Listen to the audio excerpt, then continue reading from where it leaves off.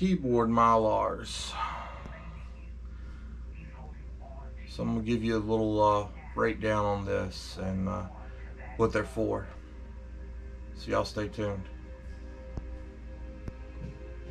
GoPro stop recording.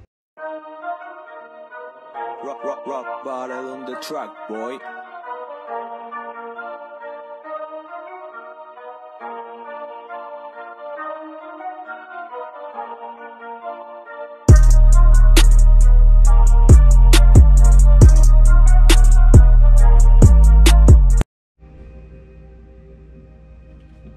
Alright, so a couple of us sat down the other day and uh, started ripping apart Mylars from your keyboards on uh, computers, laptops, desktops, you know, that kind of thing.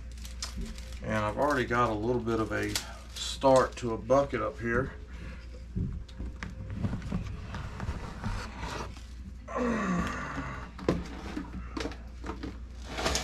Take all this out for now.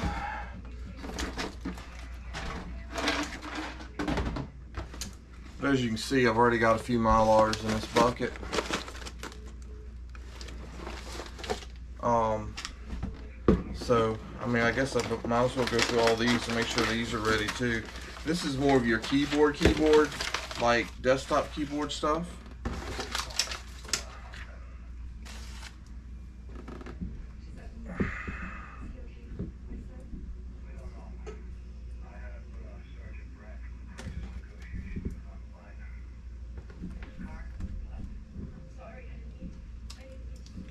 So this is kind of my little Mylar box as I open up keyboards and go through them. But I had a pretty good stack of keyboards, so I went ahead and went through a bunch of them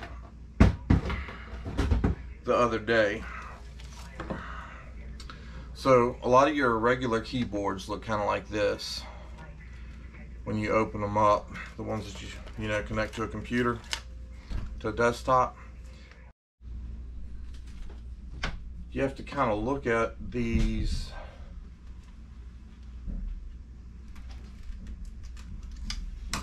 And see where the silver is on.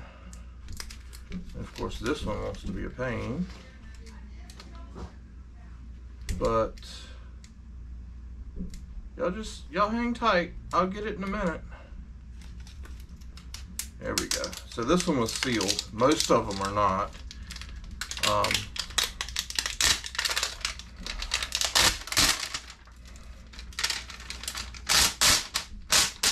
but you want to pull them apart. Some of them only have silver on one side, some of them have silver on both sides. But you see all the dots and the markings that are on the paper there. That's the stuff that you want to get off. Most are set up as uh, three sheets. Think this is the one I was working on. Yeah, so you've got a sheet in between that has nothing on it. And then you've got the other side that's got the silver. This is what you get out of your keyboards.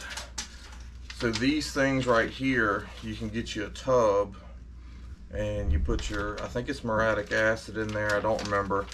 I'll show this when I actually get around to doing it, but you just drop it in there and let it set for a few seconds.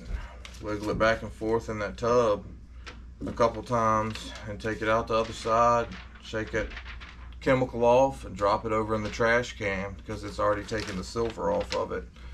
Uh, super easy to do, just takes a little bit of time to do it. So I keep these. These are one of the things that I keep. I want to take the silver off of these. I see no reason to uh, toss it in the in the landfill. So all these little dots, they match up with that piece that's in between.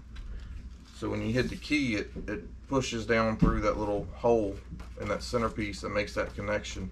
And that's how the keyboard knows which, or computer knows which key you're typing.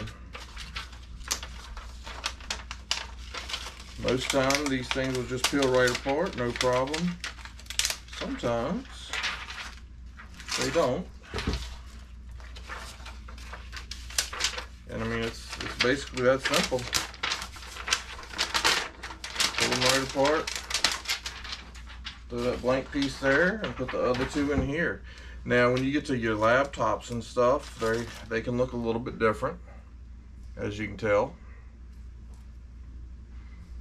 But it's still basically the same principle. But your laptops are normally. Let me grab one that's a little bit easier.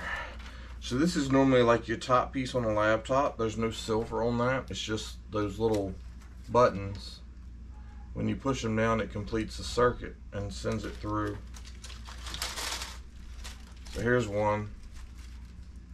Still together.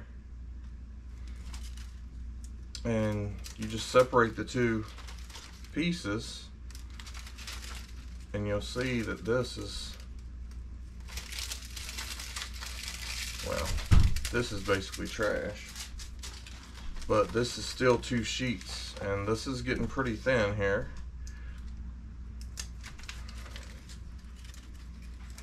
I can't seem to get a hold of it. Somewhere. Anyway, it's two sheets there, I know it is. Here's another laptop, it's a little bit different. Uh, so this one actually works the same way as the computer boards, but most of your laptop stuff looks like this. And uh, it just completes the circuit when you push it down.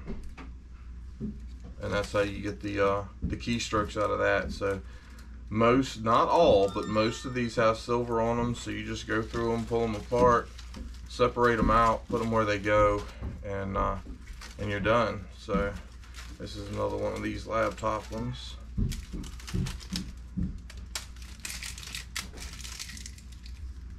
So they're not a solid sheet like the others are. But I wanted to bring that to y'all so y'all could see that and know what somebody was talking about uh, when they were talking about Mylars. Uh, you can also get stuff like this, and I'm pretty sure I've got a couple in here. Yep. Uh, microwaves, most time this is your mylar out of a microwave so you can also do the uh, same thing with these they got good glue on them but anyway where all your buttons are and your screen is on your microwave it's the mylar too and when you press that button that's what's doing the actual connections and all so anyway bringing that to y'all y'all have a good one and uh, we'll see y'all next video. GoPro stop recording.